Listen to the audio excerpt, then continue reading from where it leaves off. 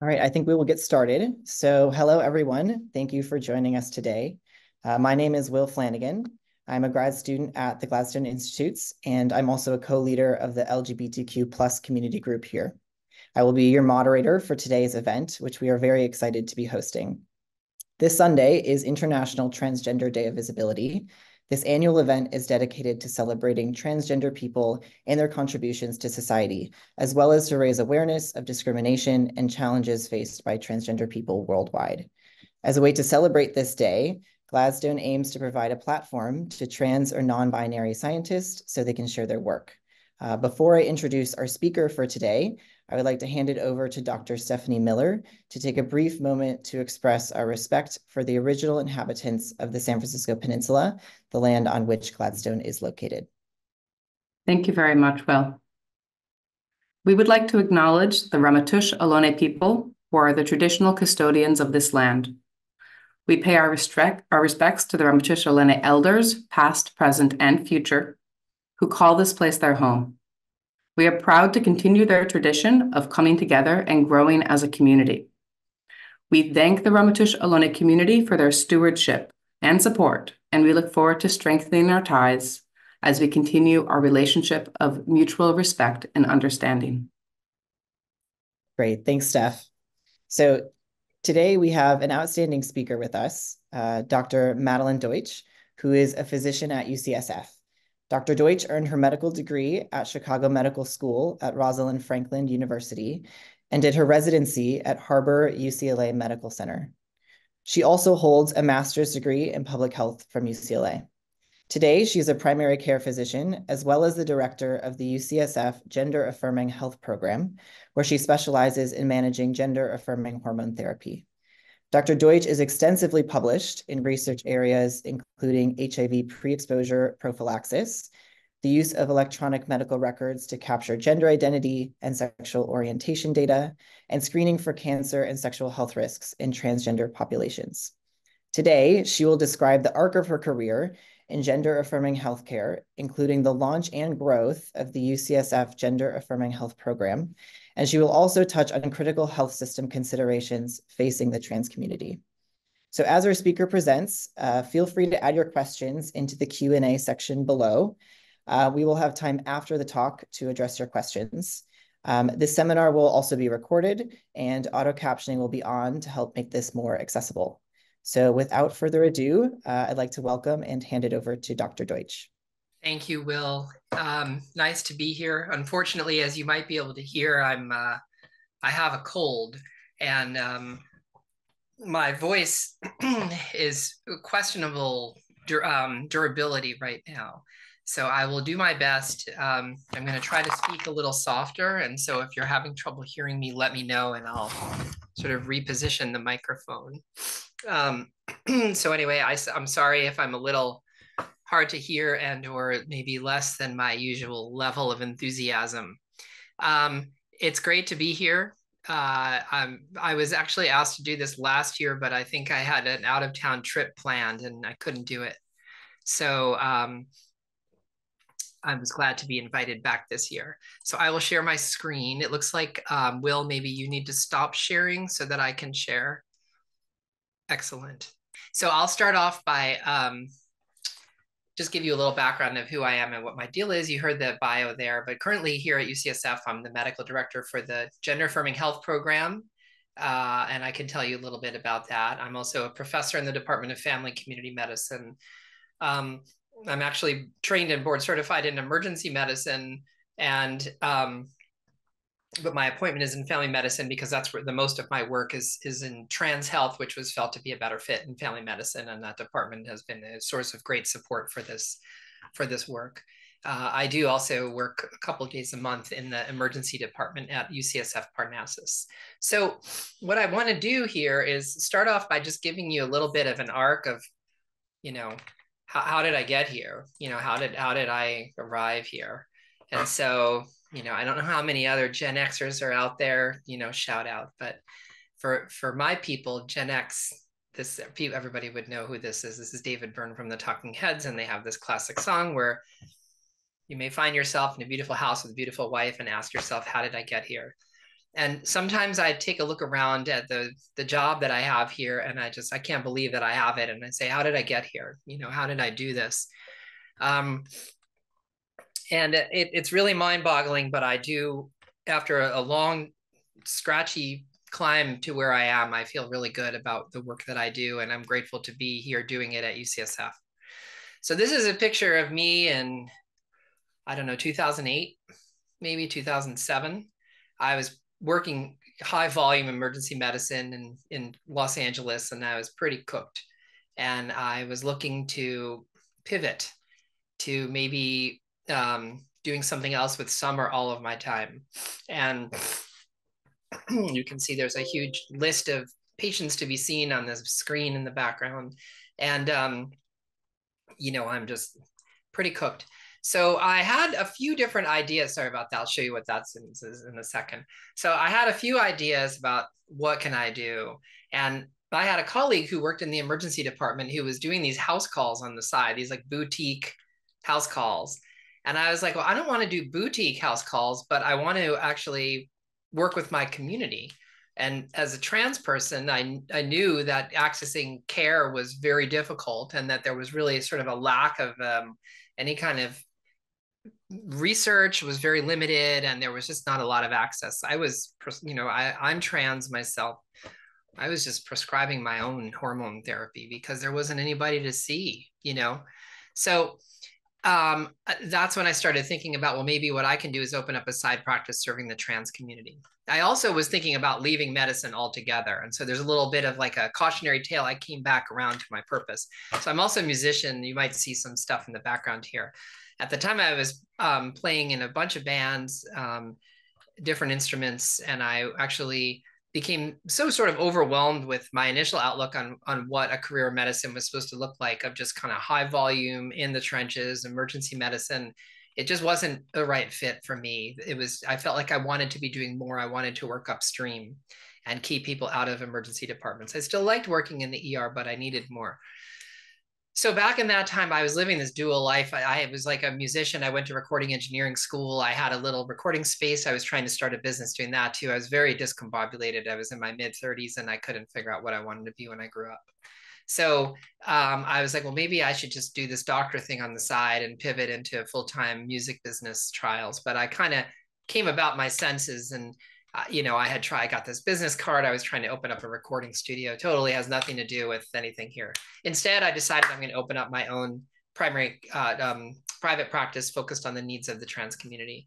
So, you know, this was in 2006. So, like, um, you know, we used to put www for websites, you know, all that kind of stuff. So, um, I got these business cards made. I got this sort of fly by night malpractice policy and uh, I got to open an account with Cedar Sinai to get my patients to be able to get their lab tests run there. And I, I wrote my own electronic medical record software using Microsoft Access and set up my set up a server in my office. My undergraduate degree is in computer science and engineering, so I had that background. So I set up a server and I built an EMR and a billing system and a calendar system and I opened up. I got this. This is the building that I rented my space in. It's pretty sketchy.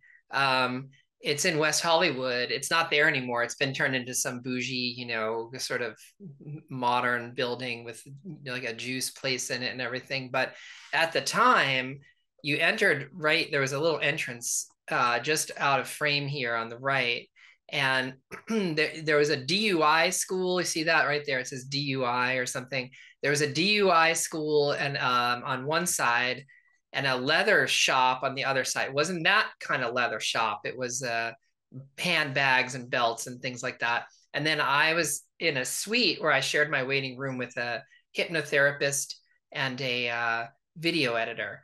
I had a really hard time finding a place that would rent space to me. I think they all thought I was kooky. They're like, well, you're an ER doc and you want to do what is this like what's trans you know they didn't even know like people you know i went to some dermatologist who had advertised they were looking to rent out a, a room in their office in beverly hills and they're like huh what are you even talking about so i you know finally found this place and um, I was there for probably only about eight or nine months, and it, it was you know pretty sort of low rent operation. I bought this stethoscope on on eBay. I got the the patient exam table on Craigslist. I had to rent a U-Haul to go pick it up myself, and then I got some day labor to to help me unload it and move it into the office. Um, and and things got really busy, and so within about eight months, I got so busy that I I I expanded and I got a second website, thepunkrockdoc.com. And I started trying to expand out of just um, trans care into more sort of broader, kind of low cost, low frills, kind of outside the box DIY primary care kind of thing. I moved into this fancy building in downtown Los Angeles near where my place was, my like where I lived. And um, it was kind of a different different level and i put out an ad in the like the local like back in those days you used to actually get like a newspaper out of like a box on the corner that and that that's how you would like find out what's going on in town there was no social like there was only myspace back then so anyway so there were like these free newspapers that you would pick up around town and i put an ad in there but I started to say like, you know, I think maybe I'm getting a little bit of field of what I wanted to do. I'm not super interested in like running a business. I'm really super interested in doing trans healthcare. So this is me probably in 2008. I gave some talk. I think this was up in Seattle at some conference. I was invited to come give a talk. I started giving like local talks and then someone saw me give a talk and was impressed and you know said, "Oh, this is somebody who we would want to have give a talk, invite to give a talk at our conference or something. So I wound up, you know, suddenly I'm getting flown up to Seattle and getting a little honorarium even. And so that was exciting. And I said, I think I'm more interested in this moving in this sort of academic direction. I had sort of academic inklings when I finished residency. I went to an academic residency and the job that I took out of residency was at one of our uh, residency rotation sites. It was a community trauma center, but it was it was an academic hospital with a medicine residency and we had residents so it was like quasi academic and i was interested in being quasi academic so i really wanted to kind of get back on that track um, I, I wound up getting invited to be on anderson cooper um, this was really fun and this is talking about um, Caster Semenya when there was controversy about whether or not she should be allowed to compete because she has higher than natural t levels whatever that means so um, that was really exciting. And I feel like since I'm among family here, um, talking to this group, um, he wasn't out as gay yet. This is in 2009. He didn't he hadn't come out yet, but everybody knew like and so between like during the commercial break, he like got on the, you know, he was in some other city and I was in San Francisco and their office is here. And he got on the little intercom in my ear and he was like, Hey. And I was like, Yeah he was like, that was really good. And I was like, yeah, I was like, that's right, girl. So anyway, that was that was kind of a cute little anecdote there. Um, so ultimately, through this work that I was doing and this sort of um, um, lectures that I was giving, I actually ultimately got invited by the Los Angeles LGBT Center to begin meeting with a planning group that they had put together to develop a transgender medicine program at that institution. At the time, it was a large HIV clinic and it was the largest LGBT community organization by budget in the world. Um, and they were looking to expand their or offerings to um, provide care to people regardless of HIV status and specifically um, the trans population. And so um, I worked with them for about a year while I continued to run my practice, and then we were ready to launch the program. So we launched the transgender health program and we actually closed my private practice and folded it into the LA LGBT Center. Um, excuse me, which was really exciting.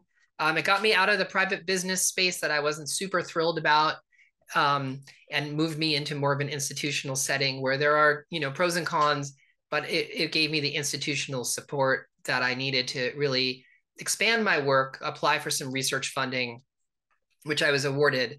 I uh, got my first couple of publications working there um, and was able to have a, a, broader platform from which to do things like lecturing and other academic exploits. So I really enjoyed the four years that I ran that program. And then, and you know, um, just kind of talking about my career arc, as you can see, there was a highly innovative high risk, high reward, highly innovative phase early on in my doing this work that was completely private sector. I took on the risk. I, I had to invest all the person hours to develop the EHR, and then I, I wasn't really making a ton of money. It was it was it was breaking a slim margin over my expenses to run that private practice, but it was interesting and it was helping me develop a career. I was doing everything. I was doing the billing, I was doing the scheduling, I was answering the phone, I was drawing the blood and putting it in a little box that they come to pick it up. So, um, you know, it, there's less innovation as you get to bigger and bigger and more established institutions and more institutional support. So it's kind of an interesting thing to deal with. The private sector, there's a lot of pros and cons, as is the case in the institutional sector so then when we launched, we had this launch event. But in the midst of this, I got involved with a UCSF program because they saw me give a talk at a conference and asked me to come speak with them about this. And ultimately, I joined up onto this um, funded project through the Division of Prevention Science at UCSF, which uh, has, and it's, it's been moved around a little bit, but there is an entity called the Center of Excellence for Transgender Health that primarily focuses on HIV prevention interventions and behavioral level interventions for HIV prevention and engagement in care. Um, it's not a clinical center; it's a prevention part of prevention science. But um, I was brought in to um, be a, a, subject matter expert and capacity building uh, expert on this uh, program in Peru, where we went down and did a bunch of trainings. And this is actually the vice president of Peru, who we met with and talked to her about transgender health needs. And it was kind of cool because at the time the president of Peru was out of the country. So she their constitution, when the president is out of the country, they have no power. And so she was the sitting president. And we came in in the middle of her security briefing, and she had like 20 newspapers in front of her. And they told us to wait outside until we, she finished her security briefing. And then she came out with us. So one thing led to another. And um, I got involved in another HIV care engagement grant that led to me getting a faculty appointment. And then I made some additional connections and through some handshaking. And um, Women's Health Primary Care, which is a UCSF health primary care practice run actually by the Department of OBGYN, but staffed by primary care people, housed at the Women's Health Center uh, at Mount Zion, agreed to bring me on and allow me to sort of embed uh, a transgender medicine program there and incubate it and grow it. And so that started in 2013. We launched right around this time in 2013. And this is this, you know, sort of well wishing from the state senator Leno at the time. And uh, that sort of brings us to, you know, where we are today. I won't get, you know, this is not a clinical group, so I won't get too much into the details. But fast forward now, going on 11 years, and and we can certainly talk about it in the Q and A if people want to. Um, this is where we are now. We have a, a, program website. We have a full range of services, hormone therapy, primary care. We have some limited behavioral health offerings. We have the full range of surgery and voice interventions, with the exception of phalloplasty, which is creation of a penis using skin grafts, but that's coming soon. Um, and uh, we have thousands of patients have been treated, and we have our own facility now. So we moved out of women's health in April of 2021 and we moved over to 1725 Montgomery Street, um, which is a satellite building that UCSF leases, and we have we have a little space in there. We share it with radiology, as you might have seen in that first slide. So um, that is that's kind of how I got here clinically. Um, and then I, I want to now spend a little time talking about some more academic and research oriented kind of aspects of the work that I've done here. And um, and then also um, uh, we'll have plenty of time for question and answer. So um, actually, um, in the midst of all this, what I kind of left out was that I went to get a master's in public health. And that was because, um, and some of you may know this, especially those of you who aren't physicians who maybe have engaged with some, you know, sometimes physicians can get a little, we can be a cocky group.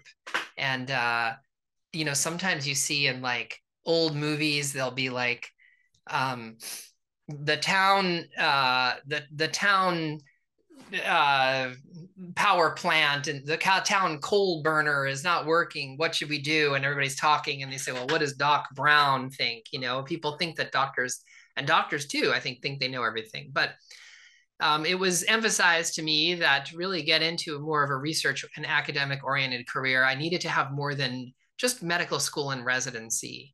And I think there are lots and lots of different ways that physicians can sort of expand their um, ability to become a physician scientist. And that can include unstructured programs like just um, being in a mentorship a relationship and getting involved in different academic programs.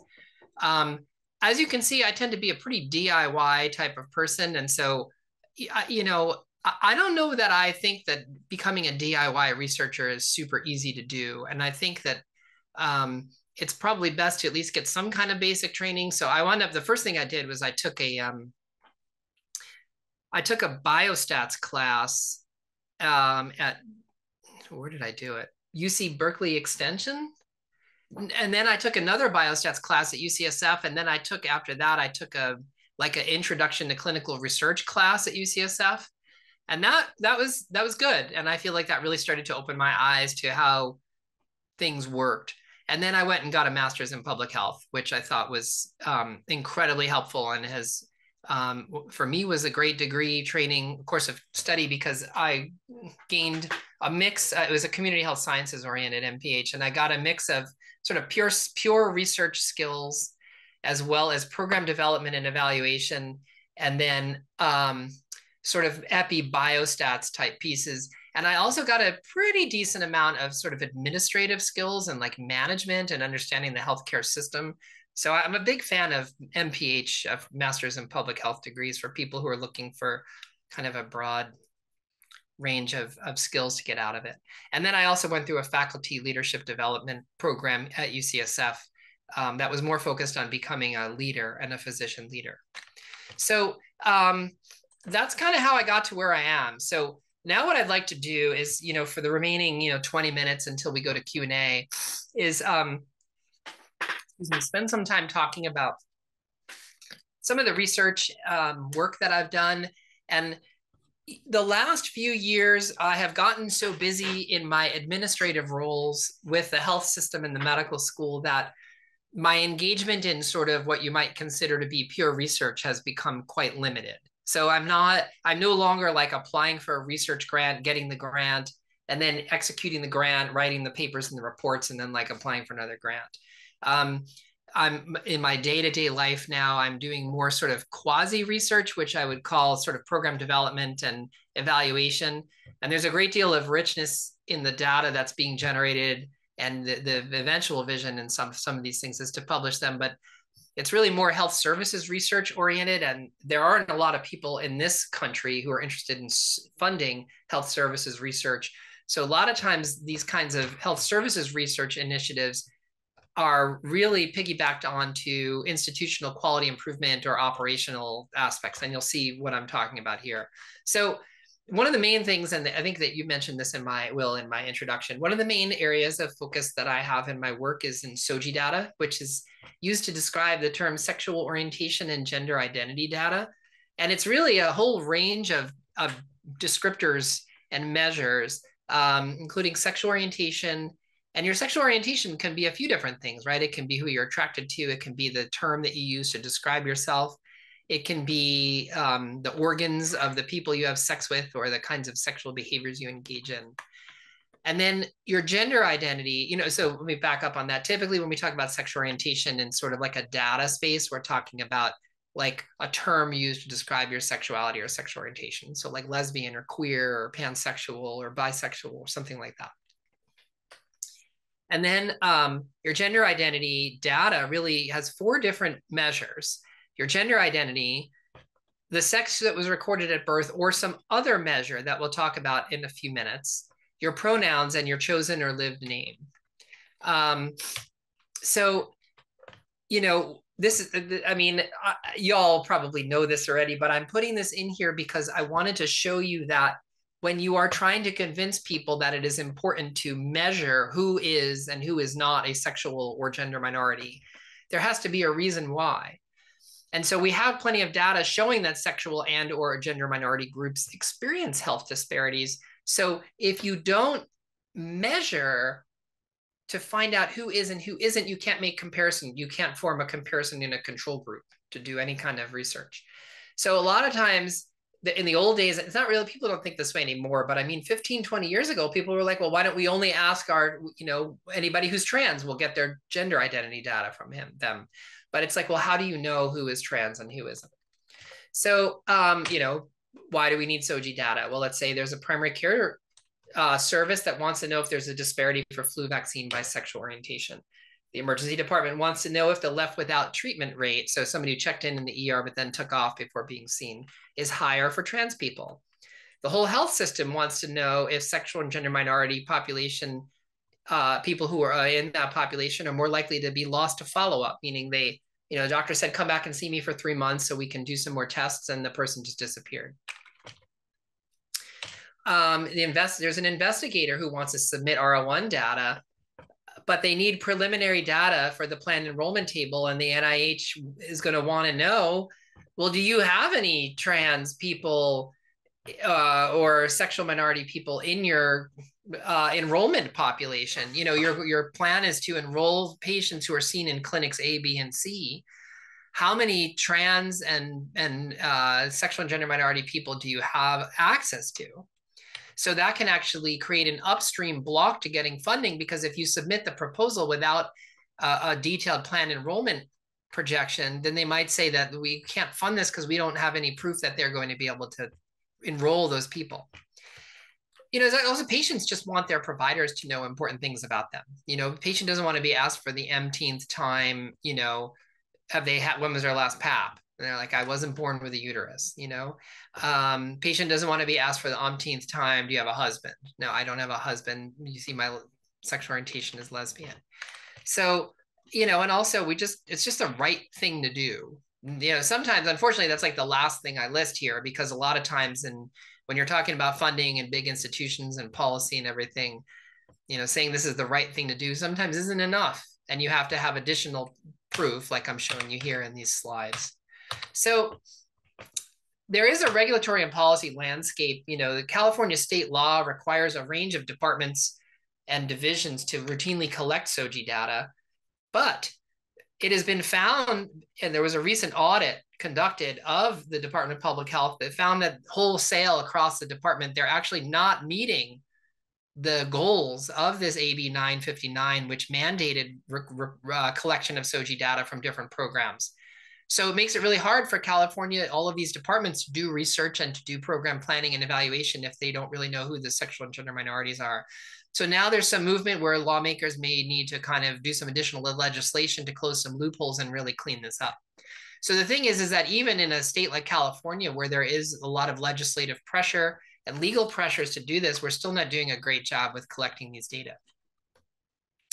At the federal level, the Office of the National Coordinator for Health Information Technology has a set of standards called United States Core Data for Interoperability, and this regulates the ways that health, um, electronic health records access and share data between themselves and and then with other database systems that you might use if you're a big data researcher or you know you're doing population health work and you're using clinical databases to to drive your work so you can see here that um, various SOGI measures are included at the federal level as well.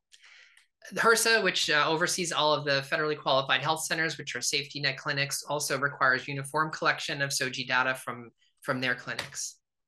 And then um, CDC recommends collecting the data. The UCLA Williams Institute, which is a big LGBT policy think tank, recommends it. And the National Academies of Science, Engineering, and Medicine also recommend it. So, and then there's good data to show that there are patient-centered considerations for doing this too, like using the wrong name, pronoun, or gender marker is common, erodes trust, and causes trauma. This is from a qualitative study. So, I mean, this is a lot of stuff that you all probably agree with and know and are not surprised to hear.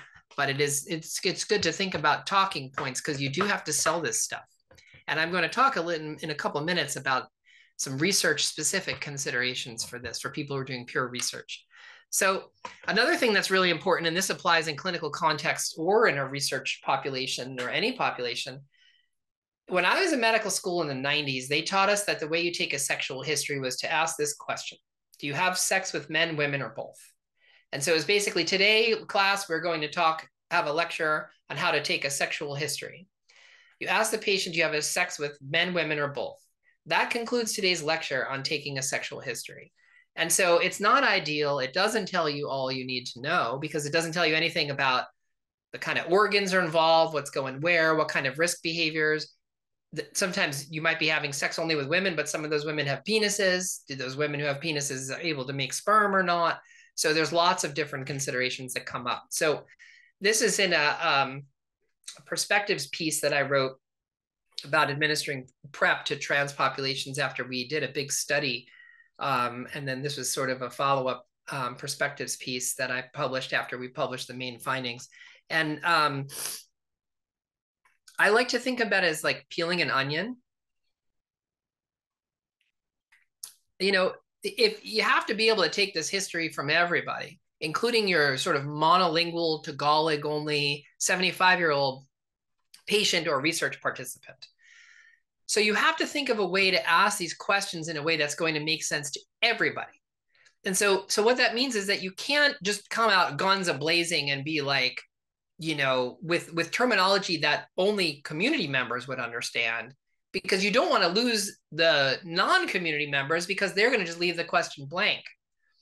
And then you're going to have a bunch of people who responded with, you know, I'm you know, biromantic, demisexual, and a bunch of people who looked at all these choices and they're like, I don't even know what this question means.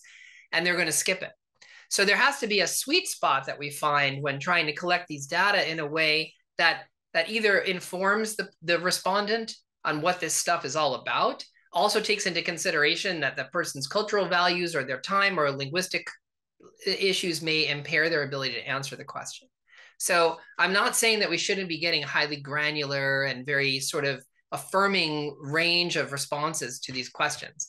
But, but I am saying that there has to be some very intentional thought about what happens to the you know 90 plus percent of the human population who are not queer when they see that question is it going to lead to them answering the question in a way that provides meaningful responses that you can then analyze down the line unfortunately there hasn't been enough research in that area there have been fleets and starts of research, but there hasn't really been soup to nuts efforts to really try to dig down and figure out what are the best ways to ask these questions to get the best responses from everybody and be as inclusive as possible.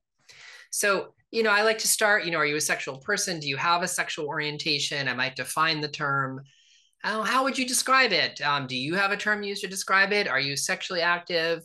Some people are sexually active with more than one partner, even if they're married does that you know these are questions we ask everybody does that describe you and so when you kind of diffuse the stigma because you're going to have again you're going to have somebody they're elderly they're conservative they have language limitations they're not from here and you're they're going to be offended that you ask if they would have extramarital sex so you might say we have a set of questions that we ask everyone they may not apply to you and so if i may i ask you a range of questions relating to your sexuality and your sexual behaviors and then, and then, then you can say, you know, these are questions we ask everyone, anyone.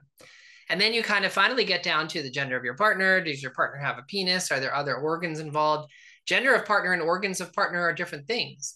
The gender of your partner will tell you um, what kind of experience does that person have when they walk down the street.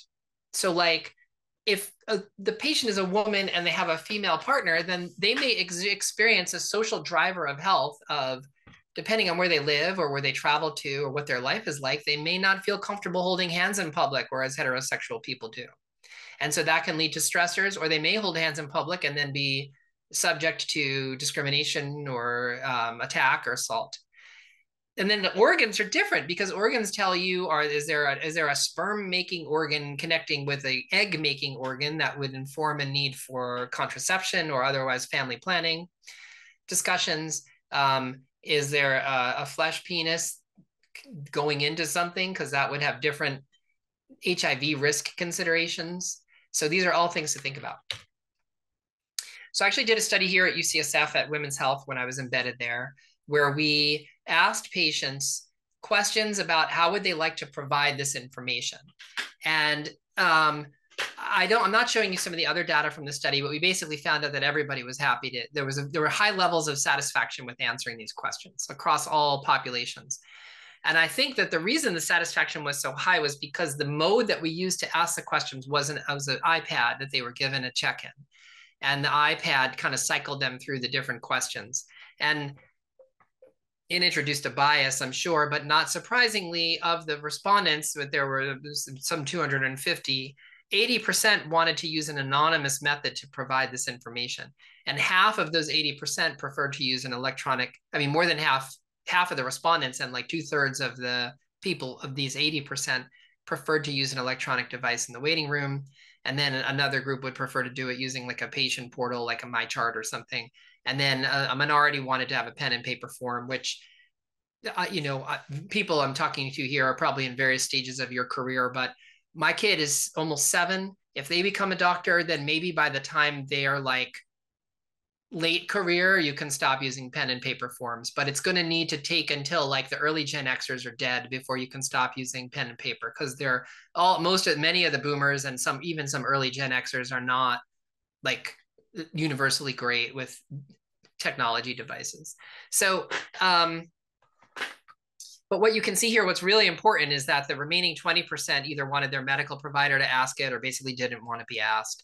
But people don't want to get asked these questions live and verbally by a busy nurse or a registration staff in the kind of in passing in these sort of non-intimate contexts. In a research context, when you're gathering this data, I think if you have somebody who's sitting in a quiet room and they're taking a, a research intake with a patient, with a participant, I think that that would be more reasonable. But if you have a situation where you're just kind of like quickly screening people for research eligibility or something like that, it, it might be something to think about. You know, is this a context in which to ask the person directly to their face about these sensitive questions? So what I wanted to show you here is, is um, th this is kind of the, the logic that we used in that study to determine who is trans. And you saw that I said earlier that there was like, you asked the gender identity and then you asked the birth sex. But actually, th there is pushback against asking somebody their birth assigned sex. There's a stigma attached to it. There's not a lot of consensus about what language to use. Like, were you designated female at birth, assigned female at birth? Were you recorded as female at birth? So, um, the model, the, the rubric that I used for this study, which I'm a big fan of, is you ask the gender, and then if their gender is male or female, then they get a skip a, a skip pattern in the iPad comes up and says, "Are you trans?" You know, or any of these terms. And if they say no, or I don't understand the question, then you make the determination that that patient is not trans, and that's the end of the gender identity questions. If they answer, if they answer female or male and they answer yes to this question, then they're trans. And then you might ask, or you might not ask what sex is listed on your original birth certificate. And then that's the end of the gender identity questions. If you don't ask what gender is listed on sex on their birth certificate, you're you may find out that this you'll never find out if this non-binary person is sort of a masculine spectrum or feminine spectrum. And there can be different issues because if you're studying cervical cancer, you want to know if that person had a uterus at birth or not. So these are some other things to think about. And there might, you know, the language that we used here was what sex is listed on your original birth certificate, trying to be as as destigmatizing as possible, not like assigned or designated, but just like what did they write down in the box? And this this allows you to skip and skip confusing anybody who might not understand this or might be offended. You know, if somebody sees this question and they're offended, they're going to be like, no, absolutely not. I mean, it's, it's sad that people would be offended by the question, but there's an easy out. You just say no. And if they say something else, they're clearly not cis because they're not male or female. So then you just say the patient is trans and then they get the additional gender identity options. There's a whole breakout that they would get to choose of what their different options are. But the point is, is that this rubric filters out cis people before they get the whole bunch of options so they don't get overwhelmed. And then for um, sexual orientation, um, we we break out something else. This line should be going here. I think something happened in the formatting when I move the slide from one presentation to another. So if you're something else, then you have all of these additional questions. So we're not flooding people out front with a million choices, which they may just make them gloss over, especially if they don't get it. But we have this breakout. And um, you know, the, the thing is that um, you can then kind of have as many you know, options as you want. And another thing I wanted to point out is that we use something else. I don't like other because it's an other, you're literally othering the person. So I tend, we tend to use like something else or option not listed here, you know, fill in sort of other, other ways to word it. I like something else. So where are we now? We have a smart form in the electronic health record. There are data elements on the back end. So for those of you who use the, the health, the um, patient database at UCSF as part of your research, these data elements all exist. We're currently in the process. Uh, this is these are signs that we have a check-in to notify to update your pronoun because there's a glitch. You can't. It's hard to update the pronoun yourself online. Um, and so we're actually in the process of preparing to pilot implementing this in a range of different contexts. So I, am going to skip this because in the interest of time, I want to leave time for Q&A. I see a bunch of things are popping up. So some of this stuff is a little in the weeds. I put it in here in case like nobody seemed interested. And then um, we can always come back to it. But basically, there's a lot of stuff you have to do to make this happen. All these work groups and committees and task forces. It's very complicated. Um, I'm going to skip this too. I'm going to skip this too because I want to leave time for questions and we can always come back to it. I'm going to skip all this because I don't, I think it's just less important. And then um, this is going to be, this is a, sort of the last, the pivot now, new area of, of interest of mine and, and research.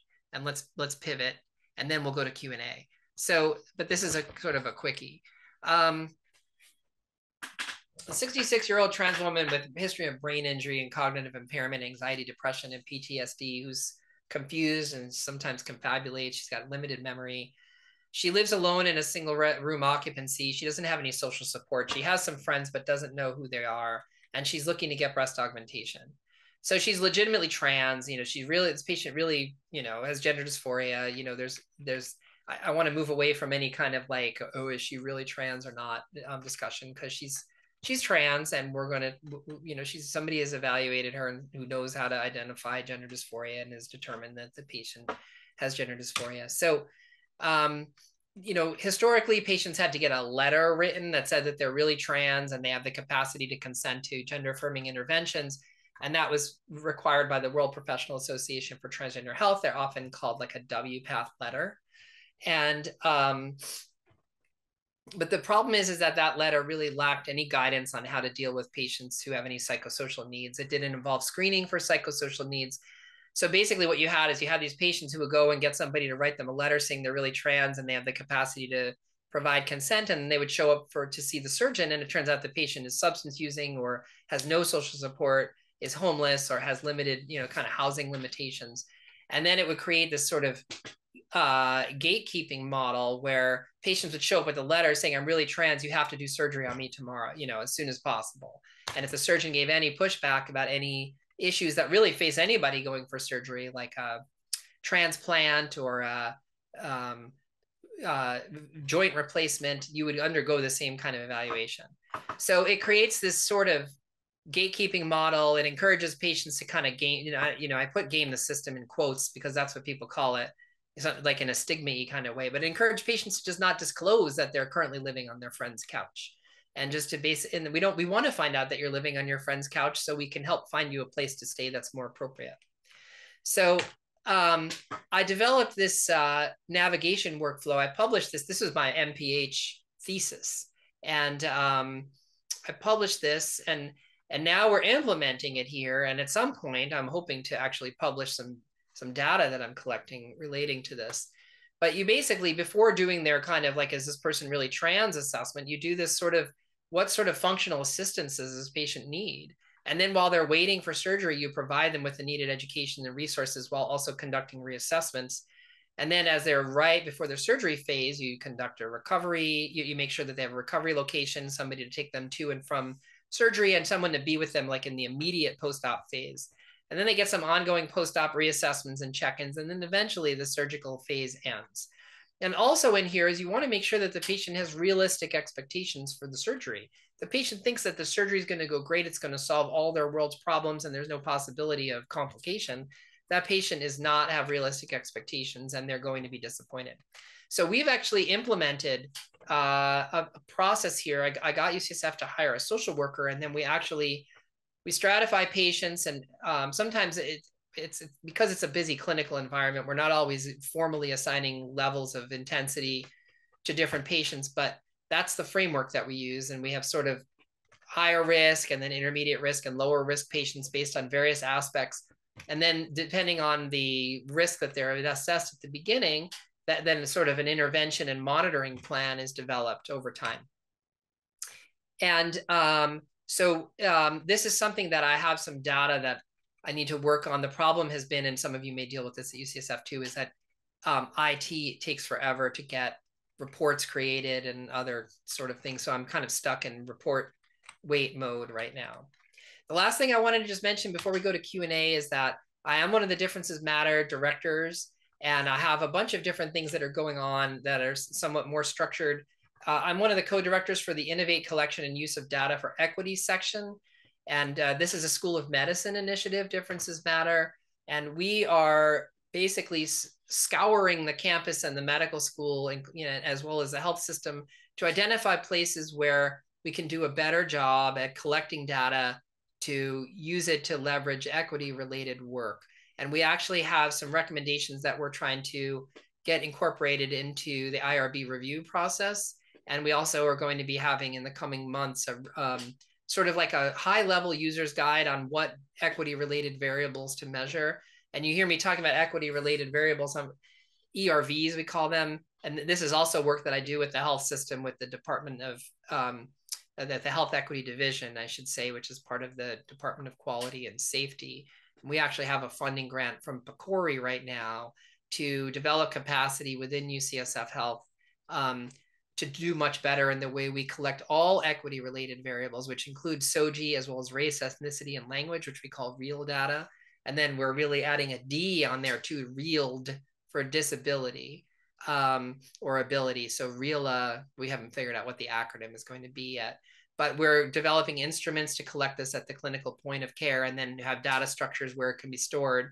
And then researchers can then go in and have all this data available. So one of the things that we're going to be doing in the coming months is actually piloting some of the SOGI functionality that I've glazed over here at, uh, in several different clinic contexts as a deliverable for our PCORI capacity building grant and then we the plan would be to use that model uh, that lessons learned from that pilot and use that as sort of a demonstration project for a broader launch of not just SOGI, but all equity related variables. So hopefully I haven't lost you too much. Um, what I'm going to do, I'll stop sharing my screen. And then if we run out of questions, I can go back and talk a little bit more detail about some of these things that came up at the end.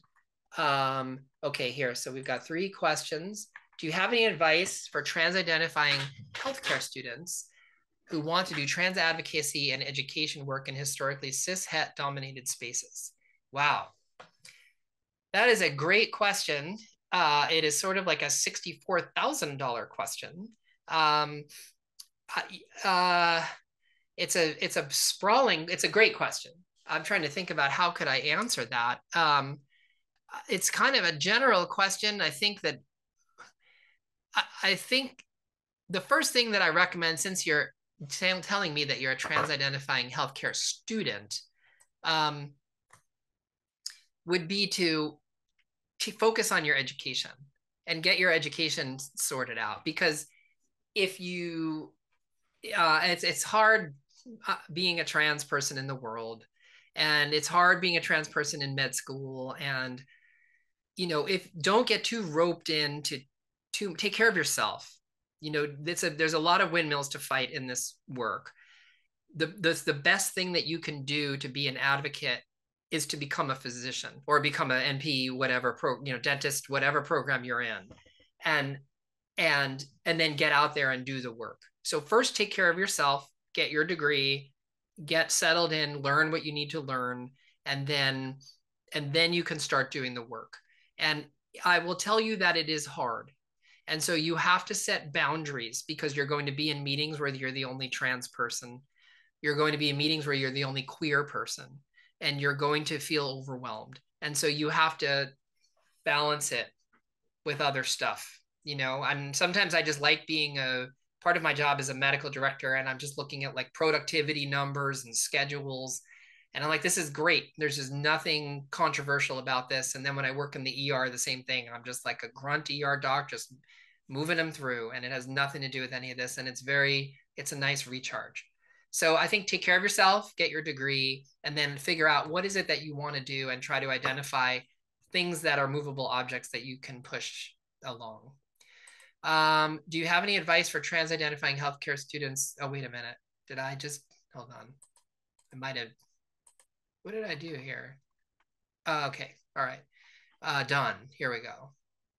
So next one, are there any privacy concerns regarding SOGI data as many states are becoming more hostile towards the trans population? Yes, there are. And there actually is a committee at UCSF that is looking at uh, sort of taking steps about sensitive data and we and how to protect people from having that data disclosed to places where you don't want it disclosed. It's a very hot topic.